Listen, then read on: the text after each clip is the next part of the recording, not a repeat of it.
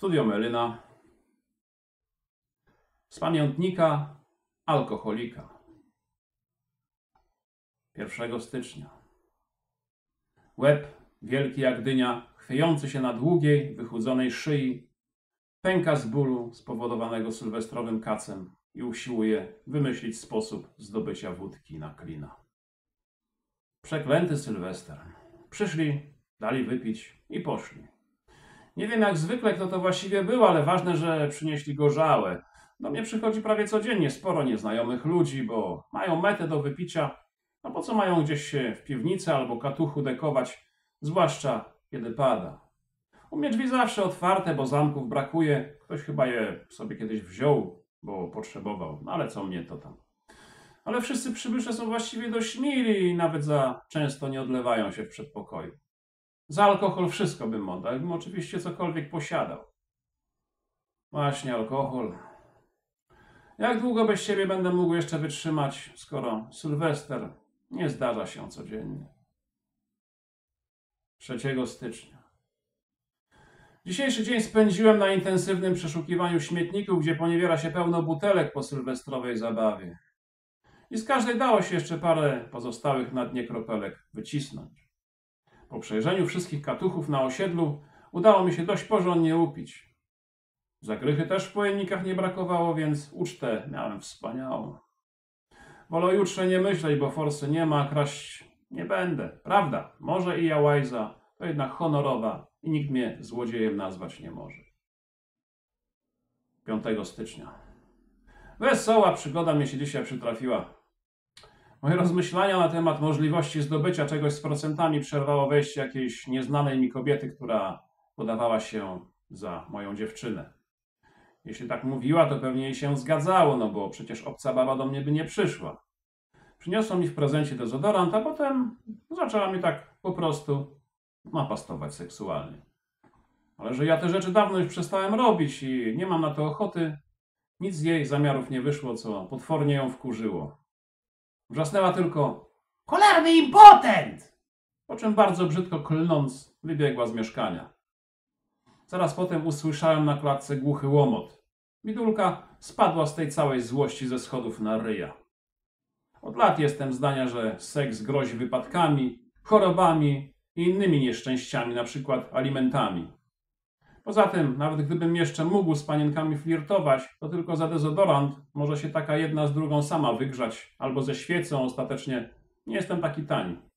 Ale w końcu dezodorant się jednak przydał. Hmm, nie powiem. Pije się to bardzo lekko i bez wysiłku. Wystarczy zbliżyć pojemnik do ust, a spirytusik zmieszany z kosmetykiem po naciśnięciu guziczka leci do żołądka jak wody Niagary. Przy okazji odświeża dech i samopoczucie. Jeśli tak, na pewno je zaproszę, skoro mam jakieś parę dziewczyn w zanadrzu.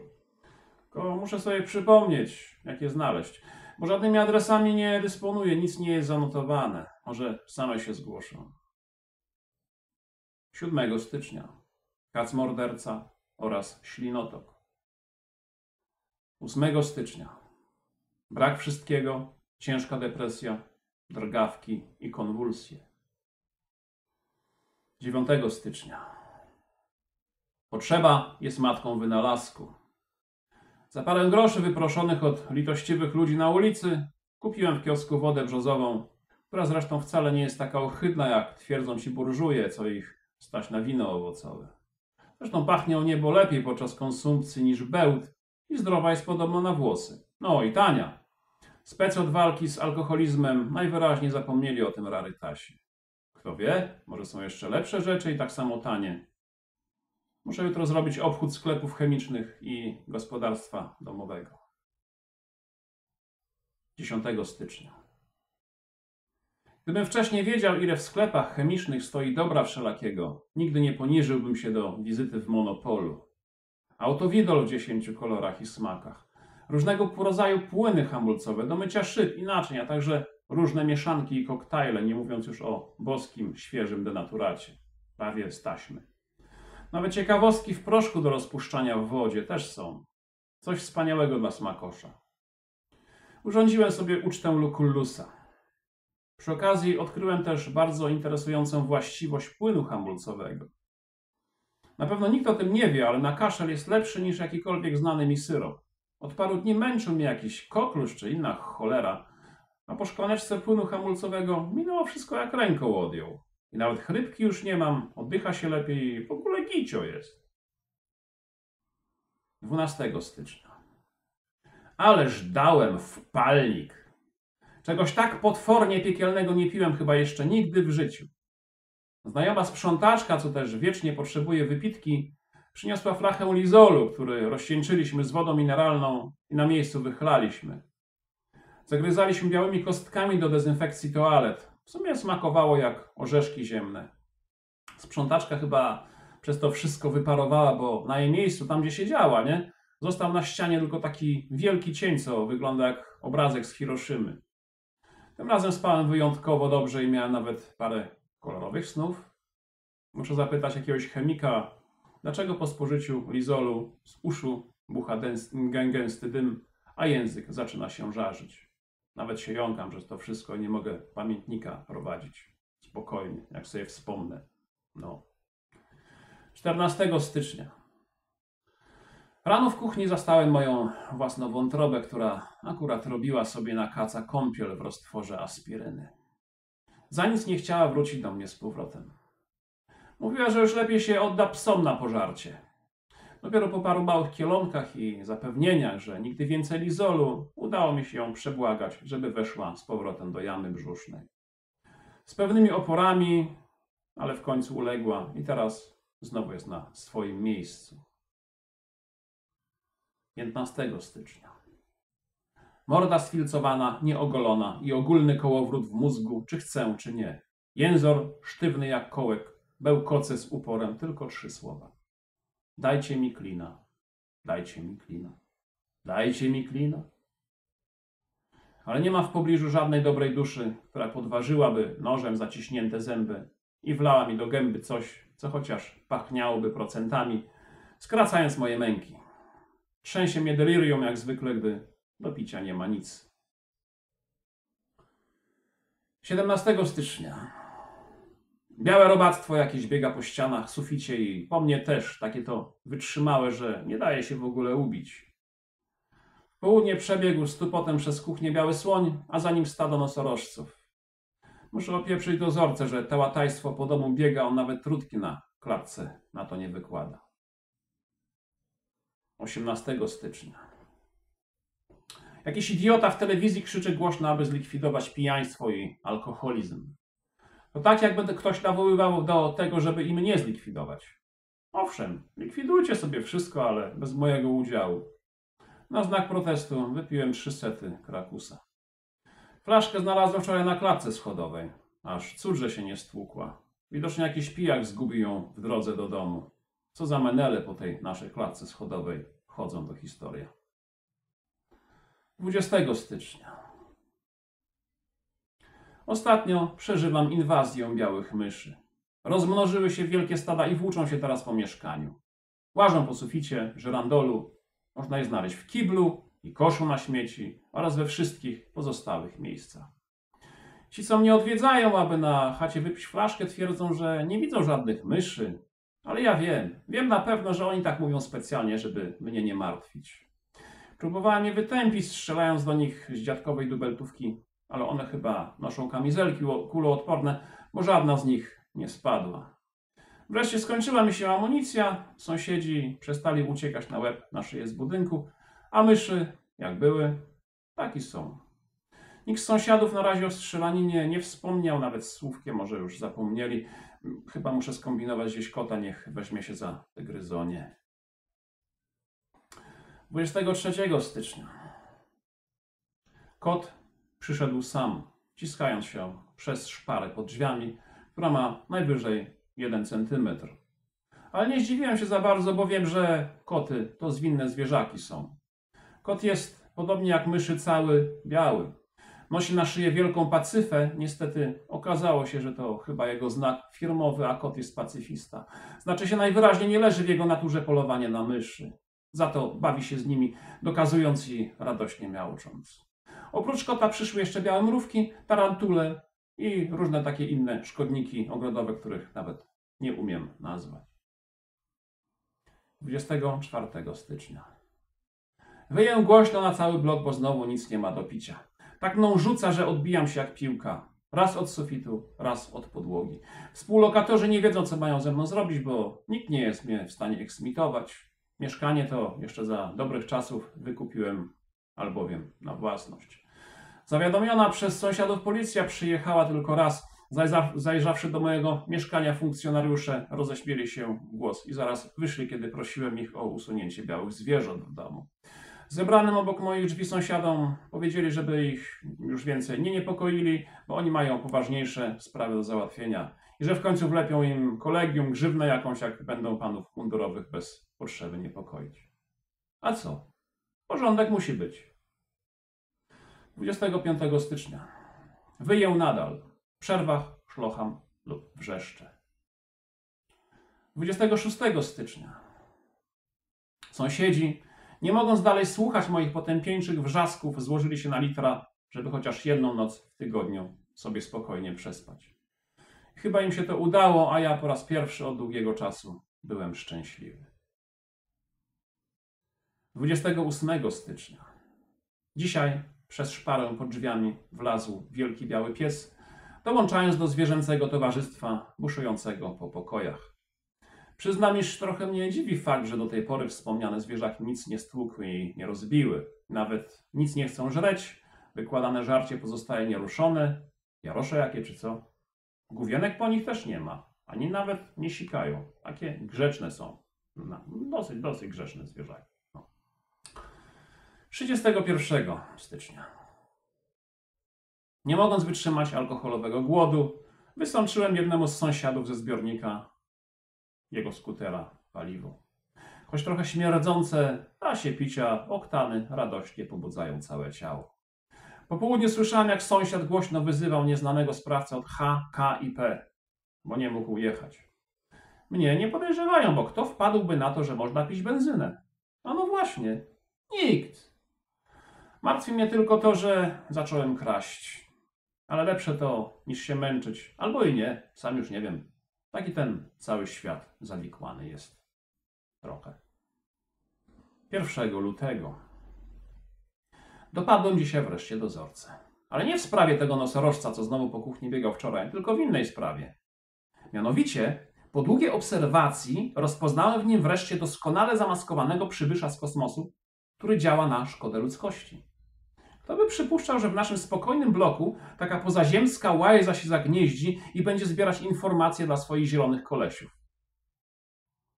Chcąc ocalić wszystkich ziemian, musiałem go obezwładnić i no po prostu się na niego rzuciłem. Kosmiczne buty to miał zamaskowane jako kalosze. Skafander kosmiczny wyglądał jak szary płaszcz ortalionowy, zaś laser do złudzenia przypominał miotłę. Ale ja nie dałem się oszukać. Naiwnych to niech on sobie szuka na księżycach Saturna czy gdzie indziej w dupie galaktyki.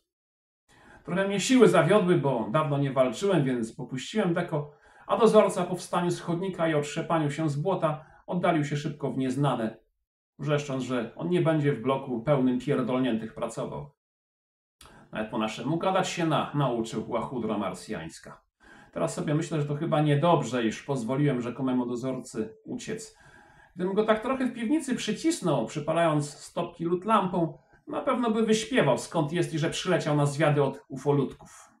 Następnym razem będę bardziej czujny, bo te łachudry potrafią się nieźle przebierać. 4 lutego. Dzisiaj odwiedził mnie pan dzielnicowy. Powiedział, że mieszkańcy nadal skarżą się na zakłócanie przeze mnie spokoju na osiedlu oraz nieprzestrzeganie ciszy nocnej. Jak go zapytałem, kto dokładnie się skarży i dodałem, że ja to mogę załatwić we własnym zakresie, bo mam siekierę w piwnicy, to powiedział, że nie może tego zdradzić, bo to tajemnica służbowa. Nawet kwacha też nie chciał postawić. A jak jeszcze rzucił, że on mi mandat wypisuje za moje przewinienia, które muszę zapłacić w przeciągu 10 dni, to już nie wytrzymałem i głośno rechocząc przykryłem głowę kołdrą, zaraz zasypiając. Przyśniły mi się anioły z wielkimi skrzydłami, ubrane na niebiesko, co częstowały mnie najlepszymi na świecie trunkami, a ja piłem i piłem i piłem. Wszystko było oczywiście za darmo. Lepiej, jeszcze mi płacili za chlanie w akordzie. Nie chciałem w ogóle się obudzić, tak piękny był ten sen, w wyniku czego przespałem całe trzy dni i trzy noce. Sąsiedzi byli pewnie zachwyceni. Nawet nie wiem, czy przez ten czas ktoś mnie odwiedzał, czy nie. 7 lutego. Jeszcze zima, to bardzo przeszkadza w poszukiwaniu butelek, które mógłbym wymienić na złotówki, a potem na alkohol. Na razie mam fajną fuchę w pobliskim browarze, bo odśnieżam plac wokół fabryki i wszystkie schody posypuję piachem, za co dostaję parę flaszek świeżutkiego piwa. Niestety śnieg na razie nie pada i nie wiem, jak długo będę jeszcze mógł na browar liczyć. Ważne jednak, że zgromadziłem zapasik na parę dni, bo transportery z piwem stoją tam w wielkiej hali, gdzie pies z kulawą nogą nie zagląda. W razie kryzysu zawsze się trochę podleczę. 15 lutego. Mam dzisiaj wesele. Znaczy nie moje wesele, ale jakiś facet przyszedł i powiedział, że chce moją chałupę wynająć na dwa dni w celu przeprowadzenia w niej weselnej uczty. W zamian będę mógł pić i jeść ile wlezie, a na dodatek otrzymam jeszcze parę butelek gorzały. Kto by się nie zgodził? Co prawda zakazano mi przychodzenia pod kościół w celu wiwatowania na cześć młodej pary, ale w mieszkaniu pozwolono mi łaskawie zostać. Jakby kto pyta, miałam się podawać za wujka. Czy jego wujka to już nikt mi nie powiedział, ale takie wydarzenia zawsze mnie wzruszają, zwłaszcza gdy widzę przezroczyste butelki z wódką. Uczta weselna była przeze mnie widziana spod stołu, gdzie się zakwaterowałem, sącząc przydziałową gorzałę i oglądając całkiem niezłe nogi panny młodej, która do dzisiaj chyba nawet nie ma pojęcia o moim istnieniu. Samotnie wcale się nie czułem, bo co jakiś czas któryś z gości zamroczony alkoholem padał na ryja w pobliżu. A potem i tak wszystko rozpłynęło się w różowej mgle i więcej nie pamiętam nic. Po skończonej weselnej uroczystości pozostawiono u mnie dużo jedzenia, alkoholu i całą zastawę stołową, którą w razie głodu będę mógł wymienić na procenty. 20 lutego. Następne śmieszne zdarzenie. Przybył do mnie mianowicie z wizytą pan komornik, chcąc wyegzekwować zapłatę mandatu wlepionego mi przez dzielnicowego, o czym praktycznie już zapomniałem. Najwyraźniej wstrząśnięty widokiem mojego mieszkania pobladł nieco na twarzy, mrucząc pod nosem. To potworne, nawet zwierzęta w zoo mają lepiej. Jak ja mam od pana ściągnąć pieniądze, kiedy dla pana potrzebna jest właściwie pomoc, a nie egzekwowanie należności? Po czym bełkocąc coś tam jeszcze pod nosem, wyciągnął z własnej portmonetki parę groszy, kładąc to obok mojego barłogu i szybko wyszedł, nie usiłując niczego zająć. Zresztą jedyne rzeczy do zajęcia to dwudziestoletni lampowy telewizor, którego nikt nie chce za cholerę kupić, oraz moje białe, białe zwierzątka, no ale tych najwyraźniej nie chciał albo ich po prostu nie zauważył, bo one potrafią się nawet tak dobrze zamaskować, że nikt poza mną ich nie widzi. Ciekawe, co on miał na myśli, mówiąc o jakiejś pomocy. Przecież się nie topię, a czuję się dobrze i tak samo mi w moim mieszkaniu dobrze jest też. No. 23 lutego. Przypadkiem wpadła mi w rękę gazeta codzienna, której nie wertowałem już od wielu, wielu lat. No, tak. Jakoś tak, żeby oszukiwać alkoholowy głód, zacząłem oglądać obrazki, a potem przypomniałem sobie o takiej czynności jak czytanie. No, nie zapomniałem. No i nawet nie wiedziałem, że ustrój społeczny nam się zmienił i mamy już kapitalizm. Musiałem przespać. Tak mną to wstrząsnęło, że pobiegłem na ulicę, wyżebrałem parę groszy. Lecz zamiast wydać na buteleczkę spirytusu salicylowego, który już podawała mi usłużna kioskarka, zaskoczyłem ją niesamowicie prosząc o całe naręcze gazet, które potem czytałem do wieczora. Sytuacja w naszym kraju tak mnie zajęła, że nawet na picie nie znalazłem czasu. No i było o czym czytać, o, było, było. Związek Radziecki się rozpadł całkiem. Niemcy się połączyły w jedno państwo, już nie ma NRD, gdzie można było kupić gumowe miśki do jedzenia. A czy miśki jeszcze są, to tam już nie napisali. Reagan nie jest prezydentem USA. On był taki śmieszny Clinton, co to całymi dniami grał na saksofonie zamiast rządzić, a jak nie grał, to sekretarki napastował cygarami seksualnie.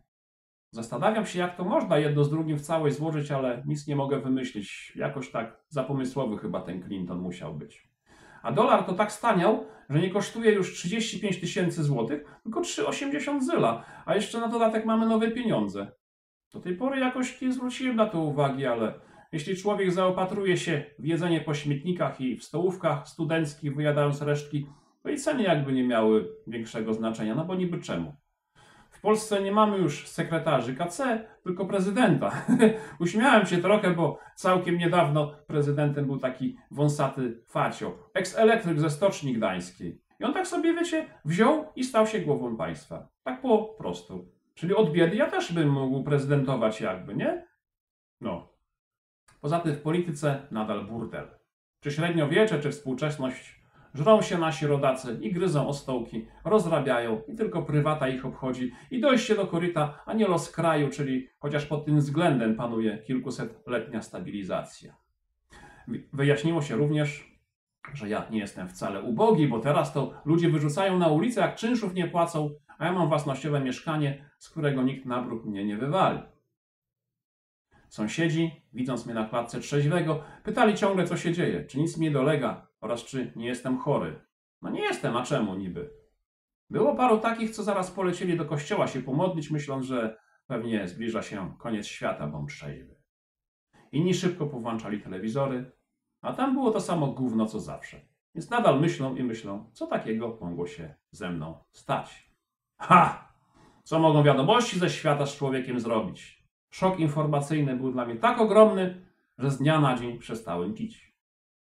Wprawdzie trzę, trzęsie mną jeszcze trochę, no tak więcej nawet niż trochę, ale to można przełamać.